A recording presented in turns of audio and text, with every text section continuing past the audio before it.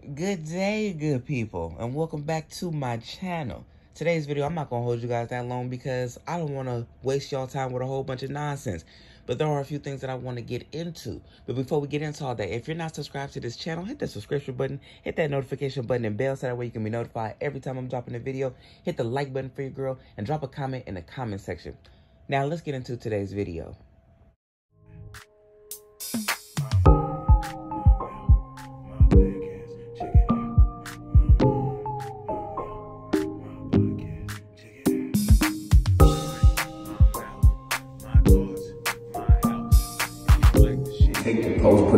Me saying Master P and such and such is the devil, which is a lie. All y'all do is twist the truth for what clicks, controversy, gossip. I mean, all the good stuff I've done, nobody never posted nothing. You never posted when we went up against one of the biggest cereal companies in the world. You never posted when we had to change our name it made history and got one of the biggest distribution deals in the world. I guess that wasn't controversial enough.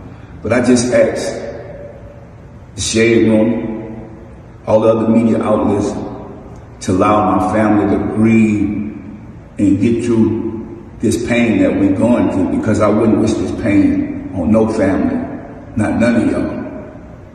I know God is going to guide us through this. I had a mental illness concert that was going to be on January 13th, which DJ Twitch was supposed to be a special guest. Snoop was supposed to be a special guest. It was with me, ASAP Rocky, and Post Malone. Mental illness is real. It's destroying families. I'm going to continue to get out there and do my part. I just want to say I love everybody that's been praying for my family. Y'all know we're going to get through this. Um, losing a child and I don't know parents that lost a child. People want you to grieve a certain way, do certain things. I mean, my healing comes through helping people, touching people, getting out there. Maybe I couldn't save the people's lives in my family. Maybe people in my family don't listen. I love them. I always deal with people and deal with family members that go through different things and handle things certain ways. I'm going to continue to put my trust and faith in God. We're going to continue growing as a family. No family is perfect rich or poor, we all gonna go through things. I'm not God, I'm no idol. All I can do is help the people that allow me to help. Because I gotta get out of character and put this on the internet, which I don't wanna do. But I try to call my son. People say, why you call? I did. He don't call back. It's been months. So my question is to Romeo.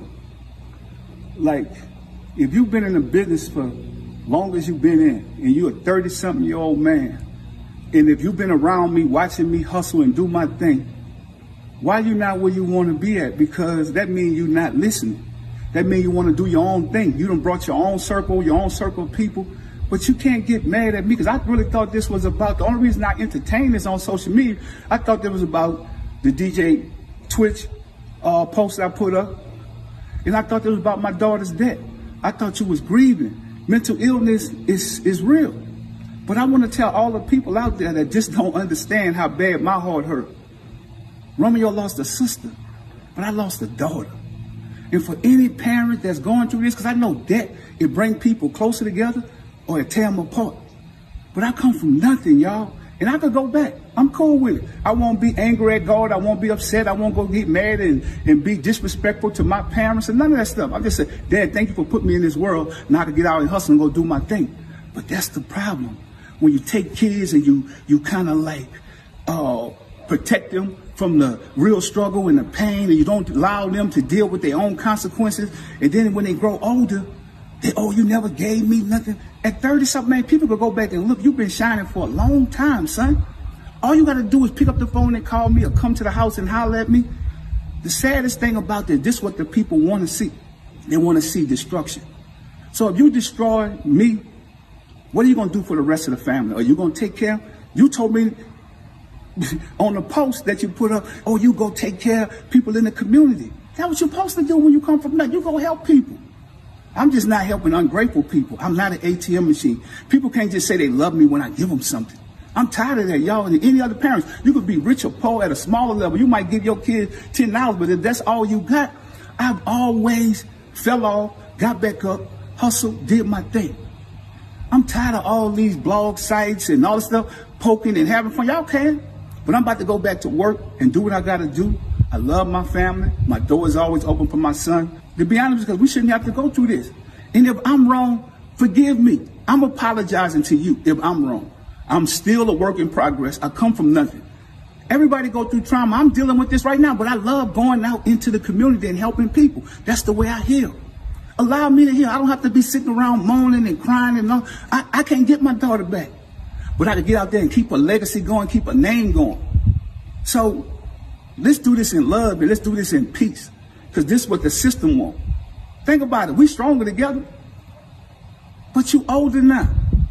So you got to lead by example for the rest of the kids. And we can get through this. I'm just telling y'all, keep keep y'all prayers. We need it. And, and, and God gonna do what he gotta do.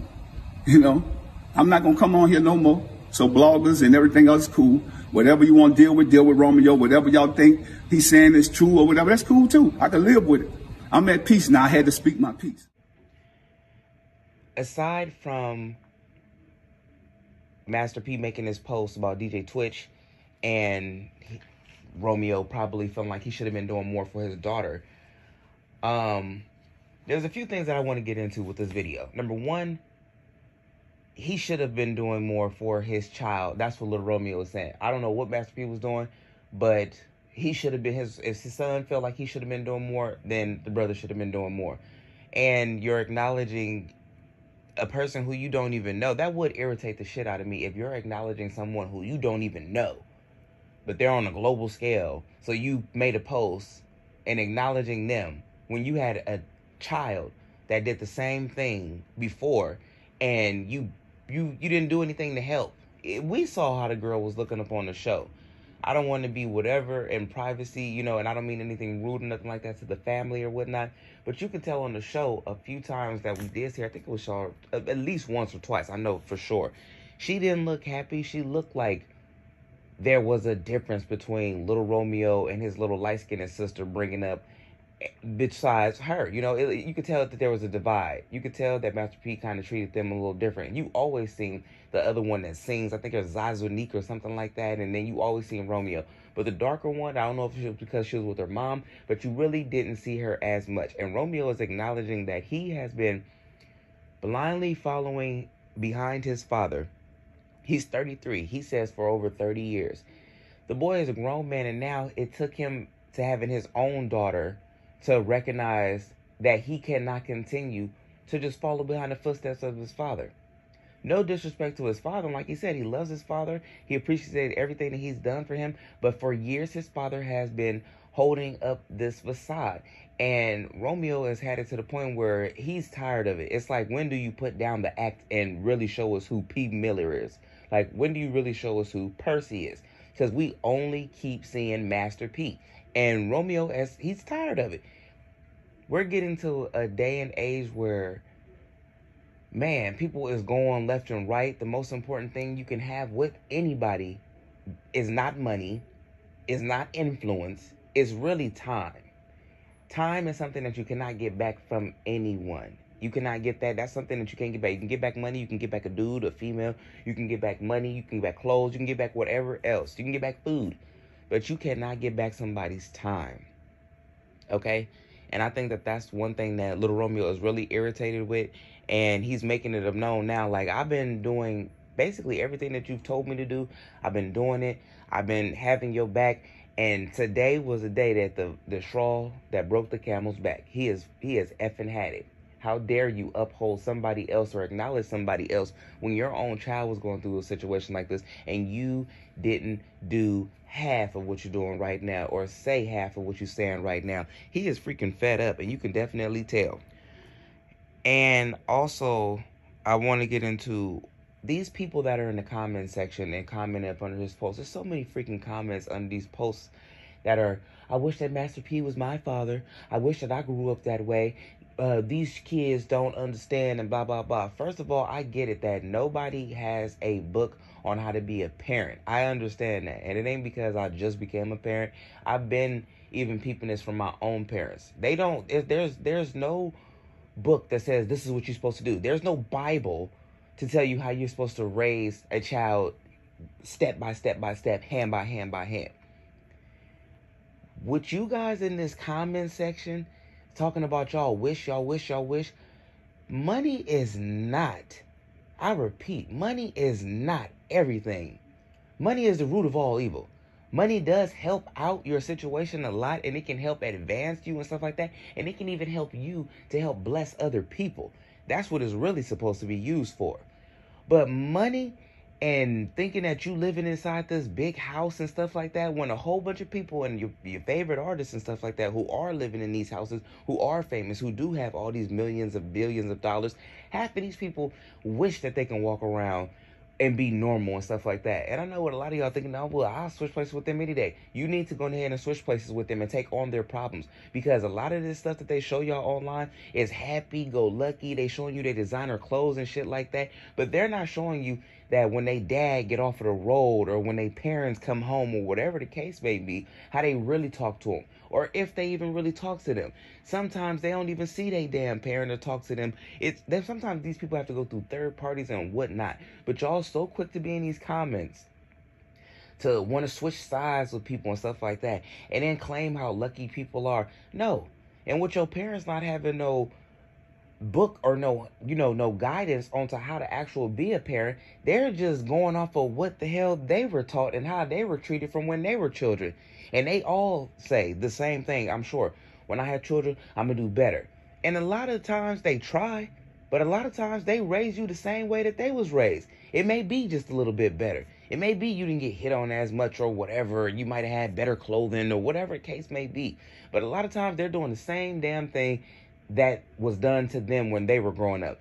So a lot of y'all in this comments, y'all don't know what really happened behind closed doors, but you so quick to want to switch sides with little Romeo. He's so unappreciative. No, he's been appreciative. And to me, in my my eyes, he's been holding his daddy down and not saying nothing bad about his father for all this damn time, just up until now, with the recent passing of his sister, and how he feel like, how dare you talk about another celebrity when you could have did more for your own daughter and she probably would have still been here. You could have been did a concert. You could have did a concert for your daughter's name instead of for for this person's name. You know what I'm saying? Like it could have just been a whole bunch of other stuff but I totally understand where he's coming from. Y'all, let me know what y'all think about this situation in the comment section.